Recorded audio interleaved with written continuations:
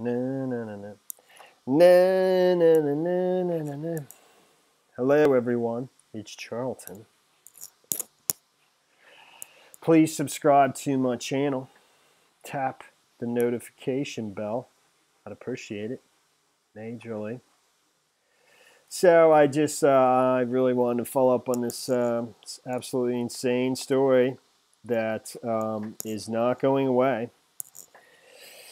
You know, dude, is so bad, man, so bad. And uh, this dude is totally, and many people along with him, many are he is selling us out so bad, and uh, it's not good, man. It's pretty, it's pretty pitiful. Trump's not gonna make it to uh, 2020, I don't think, and if he does, he's gonna lose, and he'll. Uh, I'll get into it later, some other video. So you know, the two dudes, Igor Fruman and Lev Parnas. I mean, there's just majorly interesting developments. You know, um, there was four people that that are being indicted. Three of them were arrested. Two of them were Igor Fruman and Lev Parnas in Dulles Airport today. Um, you know, outside Washington D.C. in Virginia. What's crazy? Many crazy things. One is they literally had a one-way ticket, you know, out of the country, and um, according to the Southern District of New York, you know, the attorney, and I don't know if uh, Geoffrey Berman is the one who stated this. They, you know, they weren't even going to unseal this indictment on Thursday, but because they got tipped off that these two seemed to be, you know, exiting the country abruptly, they were forced to you know, and uh, and they were literally uh, those two were arrested in the in the airport moments before they were about to board their flight. That um, they booked a flight to Frankfurt, Germany, to connect with another flight. But it says the two were detained as they were about to board the flight with one-way tickets. Manhattan U.S. Attorney Geoffrey Berman told told reporters Thursday. They gave a press conference. I didn't watch it. So that's one thing. And there's two other dudes that were in the indictment, the exact charges. I'll get to them in a second. And uh, one was arrested in uh, was arrested in the Northern District of California, I believe, and the other one remains unarrested. Uh, and Andrey Kukushkin has been arrested and is expected to appear in court Thursday, today, in the Northern District of California, according to Manhattan U.S. Attorney's Office. David Correia hasn't been uh, hasn't been arrested. All four citizens, all four are U.S. citizens. But in addition to that, Giuliani met with these two individuals moments, hours before they were arrested at Trump International Hotel in Washington D.C. He declined to comment to CNN for this report. So, federal prosecutors were not intending to unseal the indictment against Giuliani's associates and two others Thursday, according to three U.S. officials, but had to change course when they learned of the defendant's impending departure. The two were detained as they were about to board a flight with one way tickets. And um, so it says the charges against the men suggest Giuliani's push on Ukraine and President Donald Trump's receptiveness to it had ties to an illegal effort to influence U.S. politics and policy using foreign funds. The indictment involves two people central to, central to the impe- impeachment inquiry. That's uh, Fruman and, and Parnas. Continues. It also says that uh, General Attorney General William Barr, who visited Manhattan's U.S. Attorney's office uh, Thursday, today, in what was and what officials said was a routine stop, was briefed on the investigation into Parnas and Fruman in February after after uh, after he right after he took office, right after he was confirmed, which is pretty interesting. Uh, you know, um, and he supported the prosecution according to U.S. Uh, Justice Department officials. Um, you know, I don't know what to make of that exactly, whether or not he withheld that from the president or if the president was aware of that. You know, and um, I don't know. Anyways, overall, four men were indicted Thursday on two counts, two counts of conspiracy, one count of, of false statements to the Federal Election Commission, and one count of falsification of records. The four alleged in the indictment, uh, unsealed by New York federal prosecutors, to have conducted a scheme beginning in March 2018 to evade campaign finance laws. Fruman, and Parnas appeared in, in court Thursday in Virginia, where, where prosecutors told a judge they were concerned the two might attempt to flee. They haven't entered a plea. I guess they weren't forced to make a enter a plea today. They will be held in detention in Virginia until they each secure a one million dollar bond. A judge said, which I I I would assume they'll be posting. You know, I think they're wealthy persons, but I don't know. Along with Fruman and Parnas, Andrey Kukushkin has been arrested and is expected to appear in, in court Thursday in, northern, in the Northern District of California, according to the Manhattan U.S. Attorney's Office. Fourth man David Correia hasn't been arrested. An attorney for Parnas and Fruman, to Kevin Downing, declined to comment on the indictment. An attorney for Kukushkin, Robert Finkel, did, uh, didn't appear to request for com- uh, didn't didn't respond to a request for comment. Kevin Downing is not the same as John Dowd, who was representing, I think still is representing these two individuals as it relates to the House inquiries, the House Oversight Committee, the Intelligence Committee, and one other committee, you know, with regards to the impeachment inquiry and Ukraine and everything else. So I think John Dowd was, you know, hired for that purpose and was representing them, or he was just in reports just of as of yesterday. Kevin Downing is a different attorney altogether. They don't work out of the same office but it's it, it appears that Kevin Downing was Paul Manafort's uh, attorney. I assume Kevin Downing is, is a criminal attorney because these are totally different matters. So one, John Dowd, the former former attorney to President Trump, I think in relation to the into into the um, you know the special counsel investigation, the Russia investigation. That's John Dowd. He's their attorney for, you know, one matter. Kevin Downing, Paul Manafort's former attorney on, I guess, criminal matters, is their attorney on uh, on this. It's pretty crazy. So, I mean, there's a ton here. Um, Parnas was Giuliani's fixer in Ukraine, introducing him to current and former officials as far back as 2018. Starting in November 2018, Giuliani told CNN Parnas and Fruman introduced him to former and current Ukrainian officials who provided information that Giuliani claims is damaging to some of Trump's political enemies, including Biden. House Democrats have subpoenaed documents from Giuliani relating to those interactions. The request from Congress is the second set of subpoenas linking Giuliani and other Trump affiliates to Parnas. The first set, part of a lawsuit filed in federal court in Florida earlier this year, sought Parnas's financial records and included a, a request for any work he may have done on Giuliani's behalf. They gave hundreds of thousands in donations to Trump allied super PAC, according to Miami Herald. Fruman and Parnas Fruman and Parnas asked a U.S. congressman who is not named in the indictment but appears to be former Rep Pete Sessions, to help get the U.S. ambassador to Ukraine fired at the same time that they were committing to raise tens of thousands of dollars for that congressman's reelection effort. The ambassador at the time, Marie Louise Yovanovitch, was, was eventually recalled in May after earn, earning the ire of Trump and other conservatives. Yovanovitch, Yovanovitch Yovanovitch has become one of the central figures in the ongoing impeachment effort in the House and is expected to appear before lawmakers for a deposition Friday, tomorrow.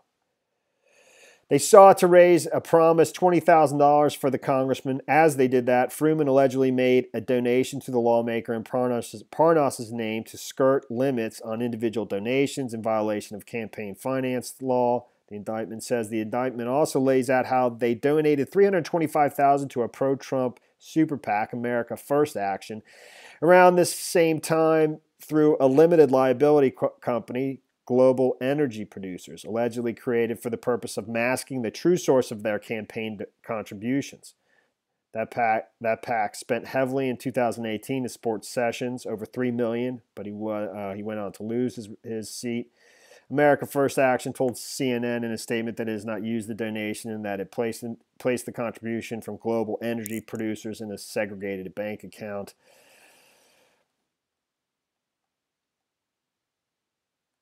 On Thursday, Berman, the U.S. Attorney in Manhattan, said the defendant's alleged conduct threatened the U.S. Dem- democratic process. Protecting the integrity of our elections and protecting our elections from unlawful foreign influence are core functions of our campaign finance laws. At this, as this office has made clear, we will not hesitate to investigate or prosecute, prosecute those who engage in criminal conduct that draws into question the integrity of our political process. Then there was a whole other scheme for a, man, uh, a, marijuana business, you know, to, to get marijuana retail licenses. Part of the part of the alleged scheme revolved around an effort to curry favor with politicians who could help them win licenses for a retail marijuana business they hoped to establish. The business venture and the ensuing lobbying effort was largely funded by a Russian national, running afoul of campaign finance violations that prohibit political donations from foreigners, the indictment states. The Russian is not named but, but identified in court documents as a businessman. At one point, Kukushkin is quoted in the indictment discussing ways to hide the, uh, the funder's Russian roots because of the current political paranoia about it. Parnas and Fruman, as well as the two other defendants are said to have drafted a chart that outlined a multi-state license strategy, planning to uh, planning for one to two million dollar uh, one to two million dollar in dollars in political donations to federal and state committees that were backed by the Russian national. The foreign national eventually made wire transfers totaling 1 million to Fruman and another unnamed individual last year and the defendants used those funds to make donations to a number of political candidates in Nevada that they thought could help further their plans uh, for the marijuana business. It goes on to name every. I mean, this goes on and on. It, it names a, a, congressman that basically Trump campaigned for. Through the, though the candidates aren't named in the indictment, one appears to be former Nevada guber, uh, uh, gubernatorial candidate Adam Laxalt, Laxalt, excuse me, according to state campaign finance data that corresponds with information in the charging papers. Trump campaigned in Nevada on October 20th, 2018 for Laxalt, who was the Republican candidate for Nevada governor in the in the race. Laxalt, Laxalt lost. You know, it's pretty it's pretty remarkable. It really is you know. And um, there's a number of different photos here with uh, that's Lev Parnas at the White House, you know, and um, boasting about it on his Facebook page. This is, I mean, at some point, I believe this is probably taken down by now. This is all. This is all of them. This is Parnas. That's uh, Fruman. I'm not sure who, who those individuals are. There's Giuliani and Parnas. That's in uh, in the Trump International Hotel in Washington D.C. But not today. That's from 2018, I believe. Or no, I'm sorry, September 20th, 2019. So just so just you know just um, a few weeks ago. And uh, but they were in the in that same hotel today, out you know hours before they were arrested in Dulles Airport. And this is uh, you know, in uh, the Beverly Beverly Hills somewhere, some hotel. I, I can't even remember the name of it. Some event, and there's Don Jr. And Parnas and. And there's uh, Mike Huckabee, and uh, there's two individuals again, and the uh, chief, the chief rabbi in Ukraine, in uh, Jerusalem. Not sure exactly what that's over, but you know, it's kind of looking up. Uh, you know, it's, it was kind of look. I was looking up how how it is that uh, there they are. That's David Correia right there on the left, and that's uh, Igor Fruman. And this is at the White House, I believe. I don't know. It's July 4th, 2018. I'm not real sure. I was looking up how Mike Huckabee became governor of uh, of Arkansas. Uh, you know, after after Clinton was, and um, it's interesting. It's you know I don't need to go through it, but you everybody knows my theory. You know, dude, I that Trump and Hillary, you know, fixed the 2016 election and she lost on purpose. And that's my theory. And I like it. I think it's a good theory. It's a very good theory. So, you know, that's pretty much that's pretty much it. Rising. Rising. Hill TV. It's got Giuliani on there. That that show is an absolute joke. And uh, it just cracks me up. They got you know, that's supposed to be what? I don't even know what it's supposed to be. I mean, I thought it was supposed to be, you know, covering the Democratic primary. They say, you know, that it's uh, they cover the populists on the right and the populists on the left, even though they trash. That's all they do is trash Elizabeth Warren every chance they can. Who's a populist, basically? You know, I don't even like that that stupid term, but you know, but they have Giuliani on here to basically allow him to to you know defend himself but they're supposedly like Democrats. You know, Krystal Krystal Ball is or whatever name is. It's it's a, it's a joke. It's so it's so it's so phony. And it just cracks me up that their most recent video uh, you know here is with elizabeth warren saying phony. You know the remedy. Warren a phony and John Solomon was one of the individuals at the Hill. I mean, he was hired specifically, you know, to launch that. And he actually has left the Hill. He's become a paid contributor over at Fox. I saw that last night on Hannity or the night before. But one of his duties that will remain is, you know, is is being a part of this this service. A humo- I mean, he's completely 1000% pro-Trump, but he's behind a service that supposedly is, is covering the Democratic primary. Such it's just total bullshit complete. And I've I've was I'm watching that channel grow, and I'm seeing the you know the, the the subscribers grow, and I'm watching the comments. They're completely fake. It's totally fake. It just is. And it's just a, there's a machine out there, a political machine, who's making money off of this, who's making money off of you know these people completely selling us out. It's a, it's a disgrace. And you know, there's plenty of, of YouTubers that are doing it too, and it's uh, it's everywhere. Whether on YouTube, on television, or they're part of the campaign, or they're part, you know, a thousand different consultancies, and, and, and on and on. And they're and you know, these people are selling us out totally, and it's a, it's terrible, absolutely terrible. And that's the story there. That's the story there. Thanks for watching my videos. Please subscribe to my channel. Give me a like down below. I'll see you in the next video. Later, man.